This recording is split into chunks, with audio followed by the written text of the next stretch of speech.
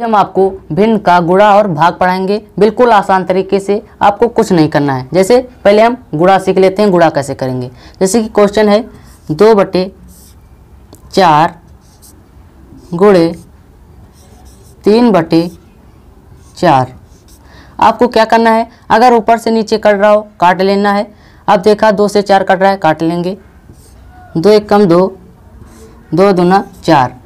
अब ऊपर से नीचे कटता हो काट लेंगे, नहीं कट रहा है। तो अब हम क्या करेंगे? ऊपर का ऊपर गुड़ा करा लेंगे और नीचे का नीचे गुड़ा करा लेंगे। तीन का गुड़ा एक में करेंगे, कितना आएगा? तीन। बट्टे का निशान है, लगा लेंगे। अब चार का गुड़ा दो में कराएँगे, कितना आएगा? चार दूना आठ। तीन बटे आठ, आपका आंसर हो जाएगा। कोई भी क्वेश्चन हो, आप इसी तरह से करना। ये भिन्न का भाग है। इसे हम कैसे करेंगे? ये हम सीख लेते हैं। अब इसमें हम क्या करेंगे? चार बटे छः भागित आठ बटे तीन है, इसे हम क्या करेंगे? पहले हम चार बटे छः को लिख लेंगे। भाग का निशान है, इसे हम जब इंटू में चेंज करेंगे तो यह संख्या तुरंत पलट जाएगी। भाग का निशान है इंटू में चेंज किया तो यह संख्या क्या होगी? यह तीन ऊपर चला जाएगा और आठ नीचे आ जाएगा। तीन ऊपर चला जाएगा और आठ नीचे आ जाएगा। अब क्या करना है? फिर उसी तरह से करना है। ऊपर से नीचे कट रहा हो, काट लेना है।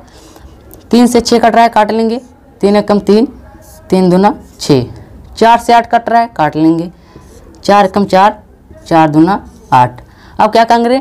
ऊपर ऊपर का गुड़ा करा लेंगे और नीचे नीचे का गुड़ा करा लेंगे। एक का एक में गुड़ा कराएँगे एक आएगा। बट्टे का निशान है लगा लेंगे। फिर दो का गुड़ा दो में कराएँगे चार आएगा लिख लेंगे। एक बटा चार आपका आंसर हो जाएगा। भिन्न का गुड़ा और भाग अलग अलग करना सीखा था। अब हम आपको भिन्न का गुड़ा और भाग एक में ही सिखाएँगे। जैसे कि है दो बट्टे तीन इंटू चार बट्टे दो भागित छः बट्टे आठ। इसे क्या करना है? पहले दो बट्टे तीन इंटू चार बट्टे दो को लिख लेना है उसी तरह। दो बट्टे तीन इंटू चार बट्टे दो। अब क्या करना है? अभी बताया था आपको, भाग का निशान पलटेगा। भाग का निशान अगर गुड़े में चेंज होगा तो संख्या पलट जाएगी। भाग का निशान गुड़े में चेंज करेंगे तो संख्या पलट जाएगी। आठ ऊपर चला जाएगा छः नीचे आ जाएगा। आठ ऊपर चला जाएगा और छः नीचे आ जाएगा। अब आपको क्या करना है? इसका ऊपर से नीचे कट रहा हो, काट लेना है। जैसे दो से दो कट रहा है, काट लेंगे।